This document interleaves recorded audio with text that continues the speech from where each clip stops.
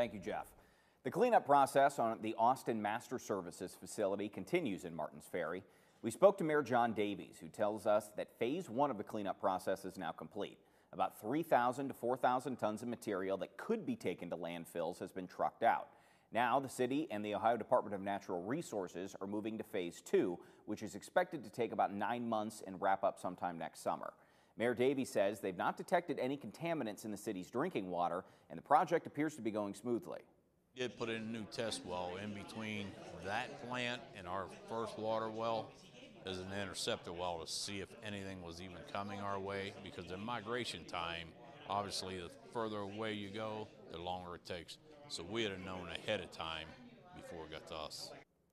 Mayor Davies says the area is still a hazard until the cleanup is complete. He tells us city officials are checking in each day with ODNR as the process continues, so stay with 7 News for updates.